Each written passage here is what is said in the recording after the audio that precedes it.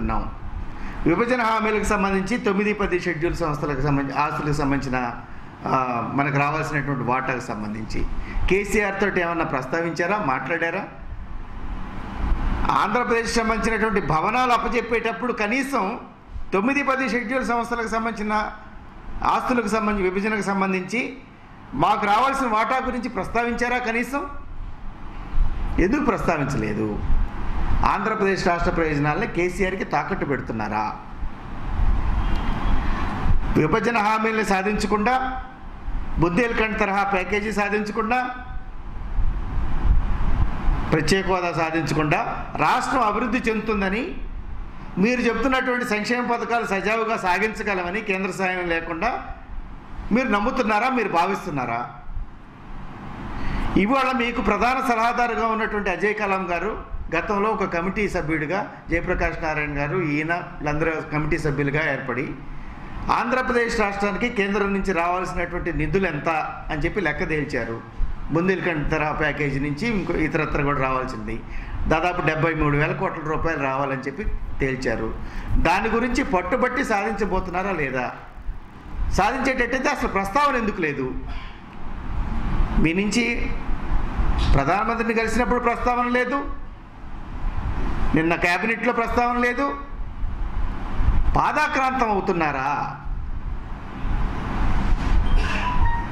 నిన్న చూస్తుంటే మీ body language చూస్తుంటే ముఖ్యమంత్రి గారి బాడీ లాంగ్వేజ్ ప్రధానమంత్రి గారిని కలిసినప్పుడు పాదాక్రాంతం అవుతున్నట్టు కనిపిస్తున్నది. మీరు పాదాక్రాంతం అయితే అయ్యారు. రాష్ట్ర ప్రయోజనాలని రాష్ట్ర ప్రజల్ని రాష్ట్రం మొత్తాన్ని మాత్రం మోడీకి పాదాక్రాంతం చేయొద్దు. ఆయనే ఓ పక్కన అన్ని రకాల సహకరిస్తూ ఉంటూనే తమిళనాడు ఆంధ్రప్రదేశ్ రాష్ట్రాల్లో గ- భవిష్యత్తులో అధికారంలోకి వస్తామని చెప్పి మాట్లాడుతున్నారు. ఏ రకంగా రాబోతున్నాడు? రాష్ట్రానికి సహకరించడం ద్వారానా? లేకపోతే రాష్ట్రానికి ఏ విధంగా సహకరించకుండా ఈ ప్రభుత్వాలు ఫెయిల్యూర్ని చూపించి రాబోతున్నాడా?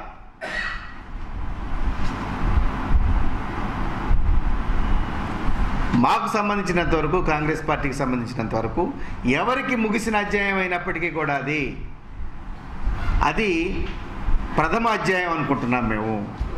ఆంధ్రప్రదేశ్ రాష్ట్రానికి సంబంధించిన సిలబస్లో ప్రథమ అధ్యాయం అది. అది సాధించకుండా ఈ రాష్ట్రం బాగుపడేటటువంటి అవకాశం లేదు. అభివృద్ధి సాధించేటటువంటి అవకాశం లేదు.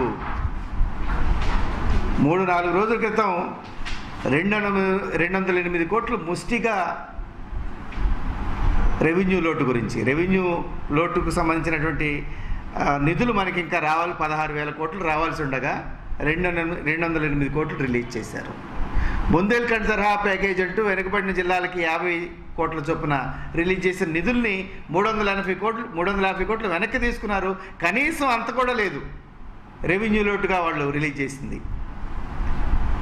ఇటువంటి పరిస్థితుల్లో ఇవాళ రాష్ట్రం ఉన్నటువంటి పరిస్థితుల్లో లక్ష అరవై వేల కోట్లు అప్పు చే అప్పు అయింది. ఇవాళ అప్పులు కూడా తెచ్చుకునేటటువంటి పరిస్థితి లేదు. రెవెన్యూ లోటు ఉంది. రాష్ట్రం ఓవర్ డ్రాఫ్ట్ మీద నడుస్తుంది.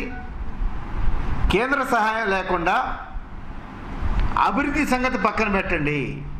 పోలవరం సంగతి పక్కన పెట్టండి. పరిశ్రమల సంగతి పక్కన పెట్టండి. కనీసం మీరు ప్రకటించినటువంటి మీరు నిన్న నిర్ణయ క్యాబినెట్లో తీసుకున్న నిర్ణయాల్ని అమలు జరపడానికి అవకాశం ఉందా?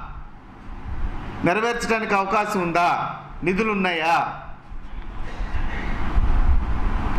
లేనప్పుడు కేంద్ర ప్రభుత్వాన్ని గట్టిగా ఎందుకు నిలదీయటం లేదు? నిలదీయాల్సిన అవసరం ఉందా లేదా? పోరాట సాధించుకోవాల్సిన అవసరం ఉందా లేదా?